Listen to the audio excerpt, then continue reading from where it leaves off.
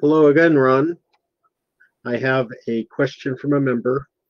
My left side by my two lower chakras is now vibrating. Is this a symptom of ascension or is it part is that a part of my body changing or is it both?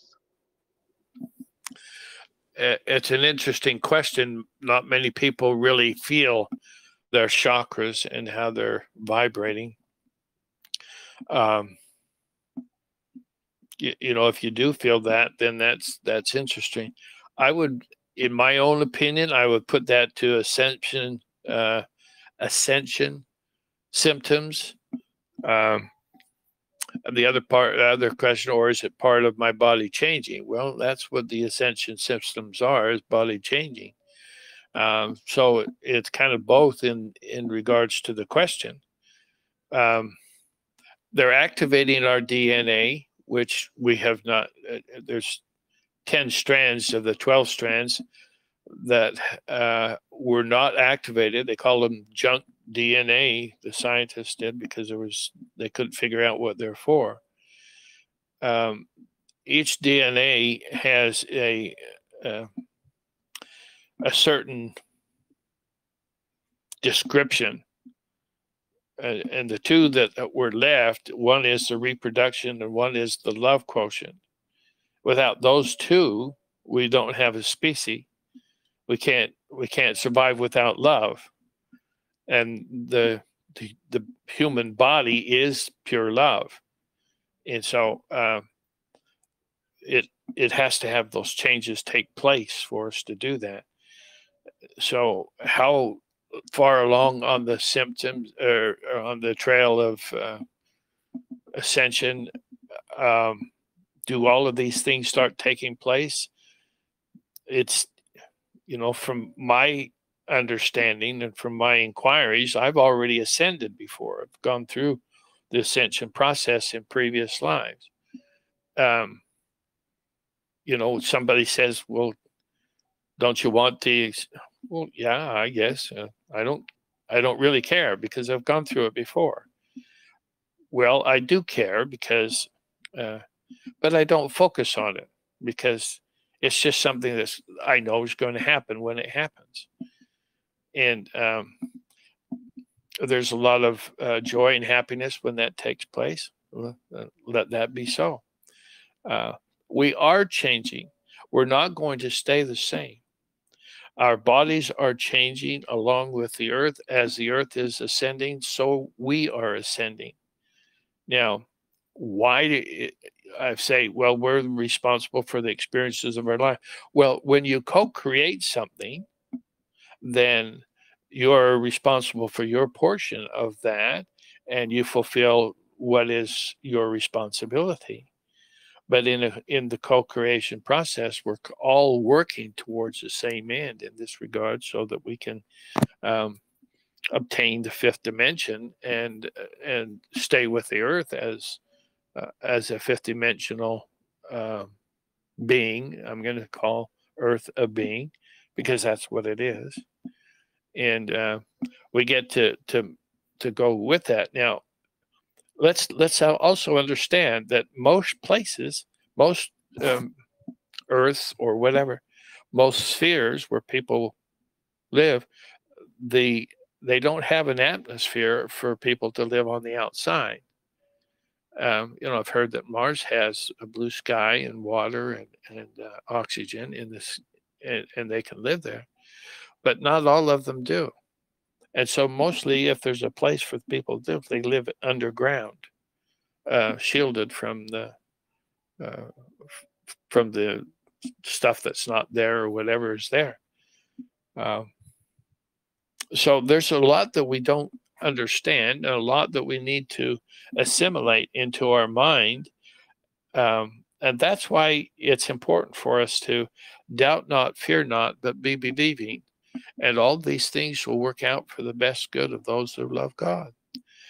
Uh, if you doubt stuff, then you're just delaying your own progression.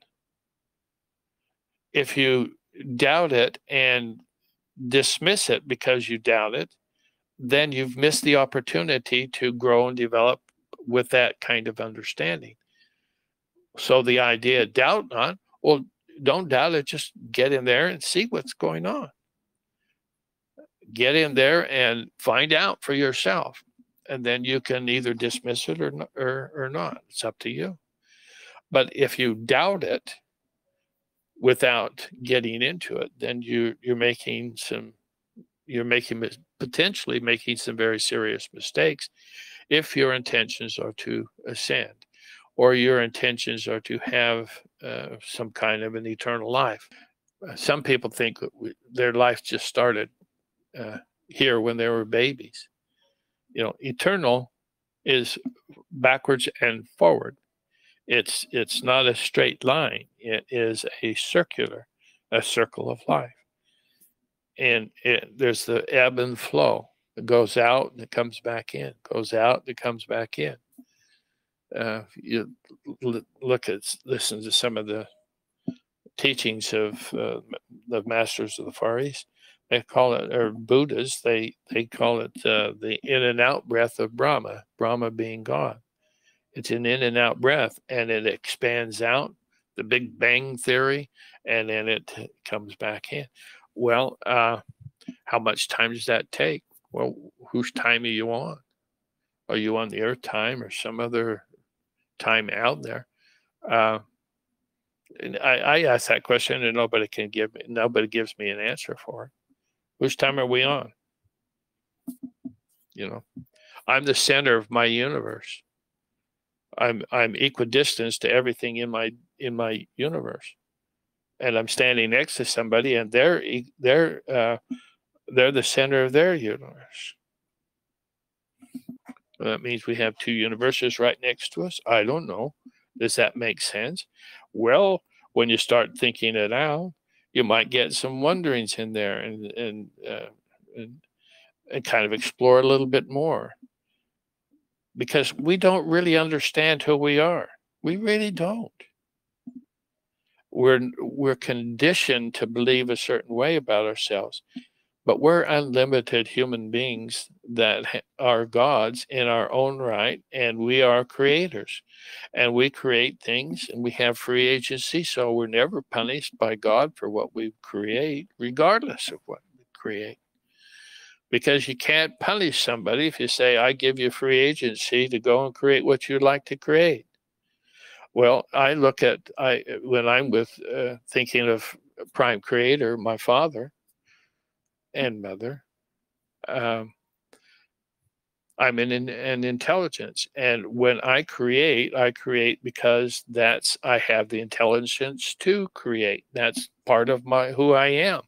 I am part of God. My intelligence is connected to God's intelligence. Therefore, I am a child of God. And I can't be anything other than part of the family of God. I call it the oneness. Okay, well those are those are fun things to think about.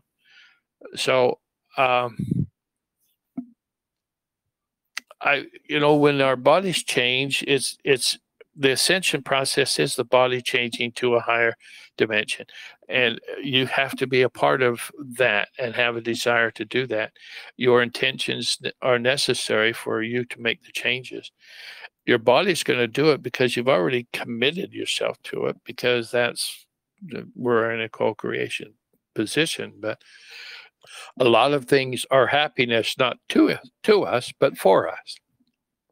And we get to ascend with the earth and that's what we're looking for. So we're changing and we're going to continue to change.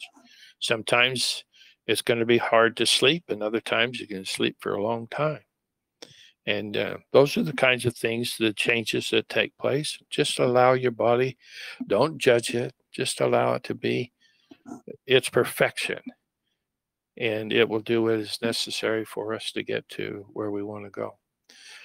Okay, I took a little bit longer on that one, but hopefully that's it's okay. Next question. Thank you, Ron. Wonderful insight. We'll be right back with the next question.